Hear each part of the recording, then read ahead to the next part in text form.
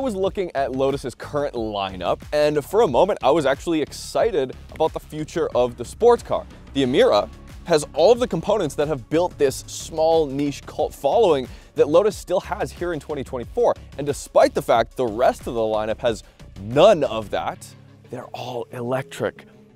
It gave me hope. I was like, hey, Lotus can build the cars that we want to drive, stiff, gas-powered, manual transmission sports cars, and they can have their silent, soul-crushing EVs.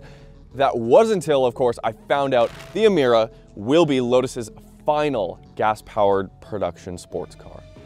That's a problem.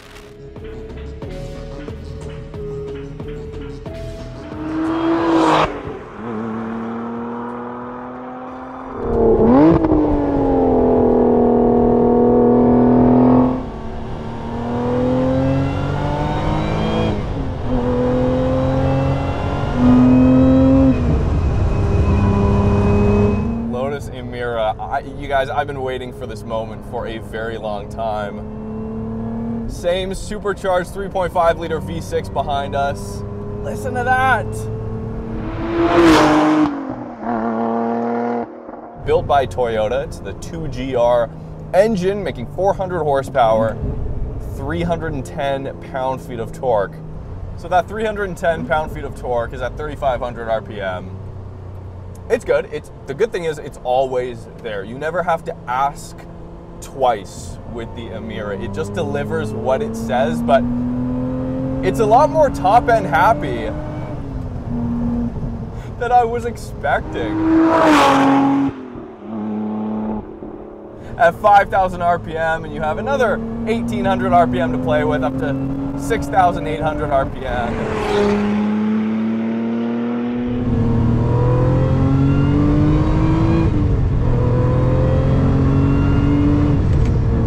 No Cayman GT4. It doesn't scream like a, a flat six from Porsche.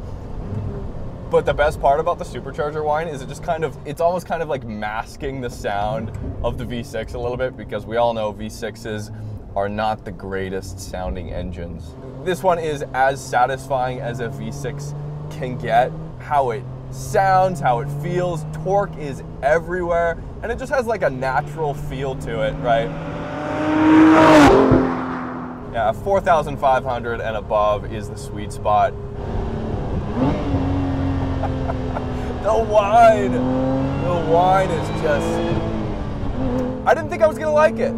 I didn't think I was gonna ask more of the engine, like ask it to keep giving me noises, but doesn't feel overstressed either. And it's the perfect amount of power for this car revs so fast, so incredibly quick. Six speed manual. Of course, you can spec it with an eight speed dual clutch.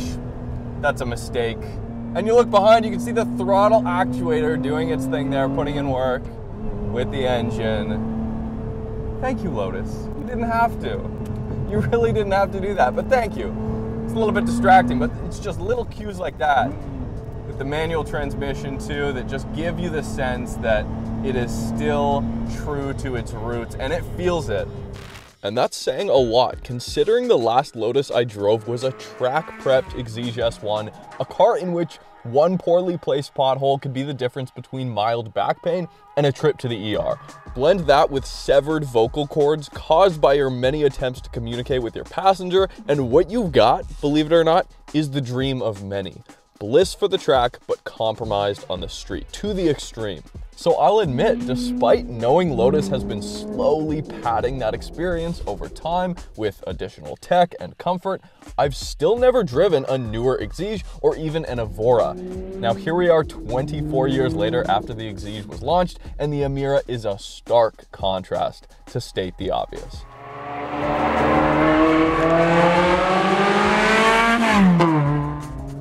off the line here.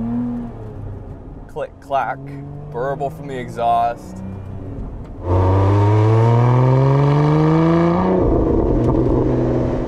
All like the tactile sensations and audible feedback that I want, it's not overwhelming though. And unlike the Exige S1, like I'm not hearing all these pebbles come up on the underside McLarens give you that. Any kind of carbon tub supercar would give you that. And that's the benefit of a sports car here too. It's it's the perfect size. What was I talking about up top about components that make that have built the cult following that Lotus has in 2024? Well, uh, yeah, a manual transmission, a lightweight car, which the Emira is. It weighs about 3,200 pounds, uh, and it's it has to be mid-engine, of course, rigid, which this is, uh, and just fun to drive. It needs to be hardcore enough that you don't feel like you're sacrificing much. Now it has all of that, but what Lotus has done here is they've refined the car and made it a little bit more livable. All new chassis, bonded aluminum chassis here for the Emira. It's a little bit larger than the Evora in most dimensions, but largely the same size. Really easy to place. Throttle input's great. We have three drive modes here. We have Tour, Sport, and Track none of which change the suspension parameters. Suspension is fixed. You are able to spec it either the touring spec or the sport spec. They're physically the same dampers, slightly tweaked dampers, and then different spring rates you get with the sport suspension. I'm on sport suspension. That comes with uh, Michelin Pilot Sport Cup 2s. An insane tire for this car. I mean, 295s in the back is more than enough. And we do have the exhaust here that will change tone based on our drive modes. The car is stiff. Not getting unsettled though at all.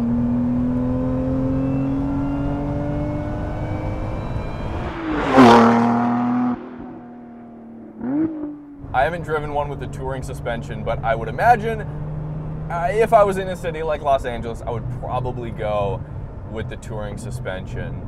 That being said, most scenarios, smooth roads, sport is not too stiff. It's what I would expect. You know, if this was an S class, yeah, I would be like, this is ridiculous. Give me some give, guys. Clutch feels great. Clutch is pretty heavy for daily driving, but out here it is perfect. It's got about the same weight as the brake pedal. Brake pedal's firm and responsive great shifter action here. Gears are close, easy to drive. There have been a few times where I have missed gears. Mostly the 3-2 downshift under hard driving, really trying to downshift up to, you know, 6, 7,000 RPM. Yeah, it's tough to get that 3-2 downshift. That's happened multiple times it is easy to heel toe. And when you do nail those downshifts, I mean, new cars don't get any more satisfying. They don't. It is a dying breed, and for that, Lotus, I applaud you. I don't understand you, but I applaud you.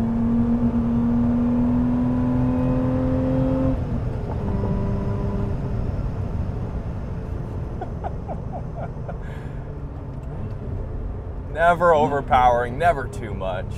And I had to choose which shoes I was gonna wear today.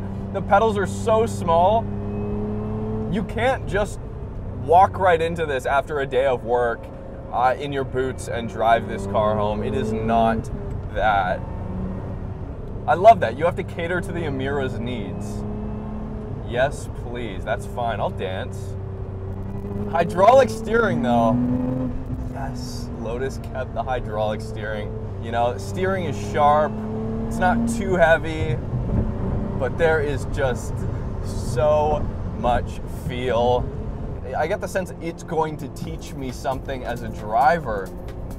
And that comes through everything. The way you dip into the corner, lift off, the rear rotates around. You're like, all right, maybe not quite as hot the next time. These seats are great. The suspension is stiff, but the seats are really comfortable, so there's kind of, it, it makes up for the stiff suspension. And it's one of the last true chuckable, like lightweight cars you can buy.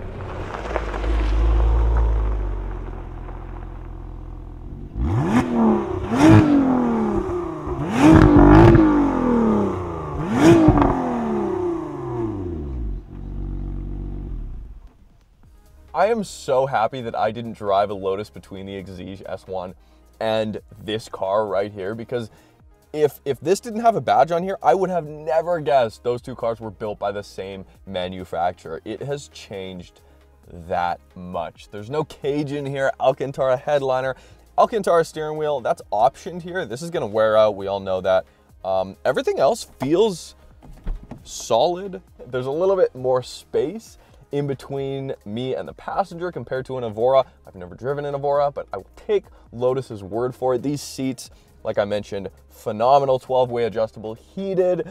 Uh, we've got white LED mood lighting. Yeah, it's small in here, but you have armrests in the right place. We have cup holders. Cup holders. Yes. I know the Evora 400 had one, uh, but having two cup holders in here is huge. Kind of annoying though, because anything larger than a tiny small cup of coffee or something, uh, you're shifting. So yeah, driving takes a priority. I'm okay with that. We're fine with that. Headroom is great. I would definitely fit in here with a helmet. I'm 5'9". If you're a little bit taller, maybe not. Simple infotainment here, just great UI, easy, simple. Climate control is analog. We have proper physical controls for the climate control. Yes. and a little race car man with a helmet. Little nod to their racing heritage, of course, uh, with Lotus, but everything's just easy to use. Climate can also be adjusted on the screen, so you have your option there. And of course, standard Apple CarPlay and Android Auto.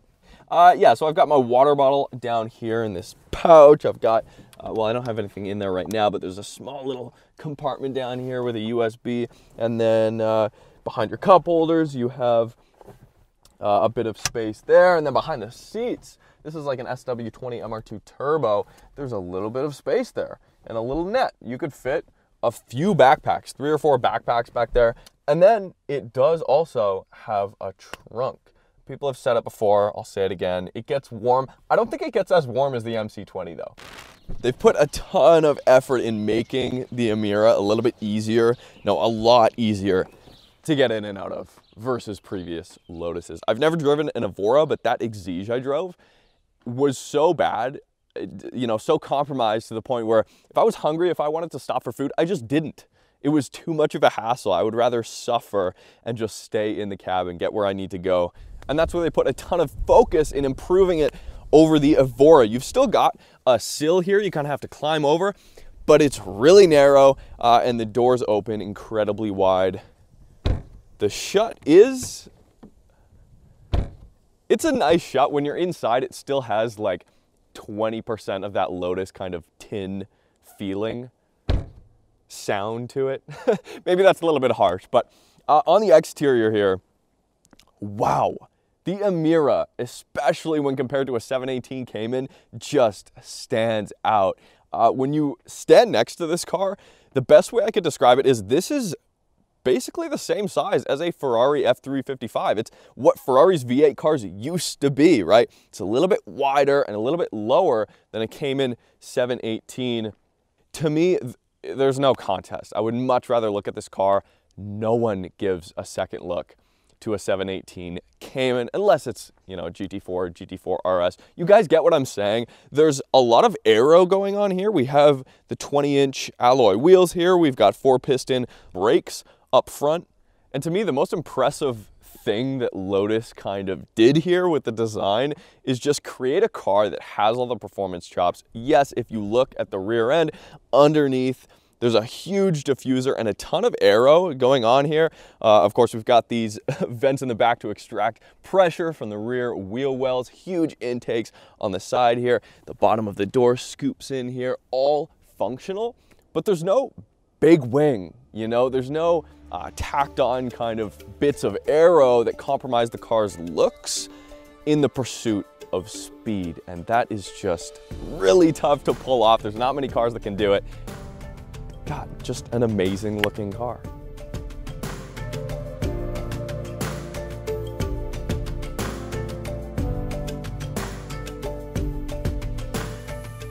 Road noise is still there for sure, and it's stiff.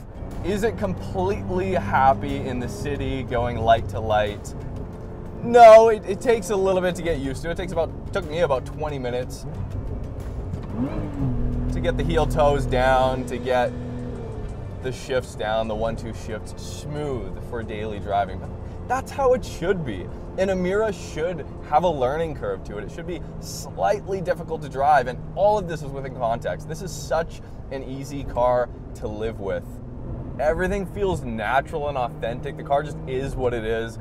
The drive modes aren't complicated.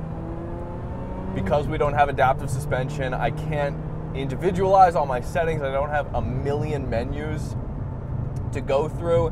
It's just nothing more than it needs to be. It's super laser focused, which is what I want. And Lotus is one of the only manufacturers who's able to build a car that feels as buckled down and connected as this does, while still making it somewhat livable as a daily driver. The Emira lacks that final degree of precision confidence a Porsche gives you. It feels like your driving instructor one moment and your backseat driver the next. It's rough, it's loud, yet somehow feels natural, even though it could bite back at any moment. For a Lotus, yeah, it's refined, but in a sea of dumbed down computer driven hybrids, it's as raw as it gets. While editing this video, Lotus has actually pushed back on its promise of an all EV lineup by 2028, something that would have pegged this the final gas-powered Lotus ever to leave the production line. While this still could be the case, it seems Lotus hasn't actually ruled out a hybrid system for any number of their current or upcoming models. While their future, like many, feels uncertain, I would not hold my breath for any manual transmission follow-up to the Emira.